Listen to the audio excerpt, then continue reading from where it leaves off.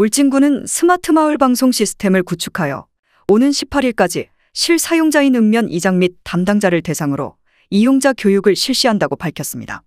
한수원 사업자 지원 사업으로 추진된 스마트 마을 방송 시스템은 방송 청취 불편 해소 및 마을 주민 편의 제공을 목적으로 구축되었으며 기존 마을 방송을 유지함과 동시에 개인 휴대전화로 마을 방송을 청취할 수 있는 시스템입니다.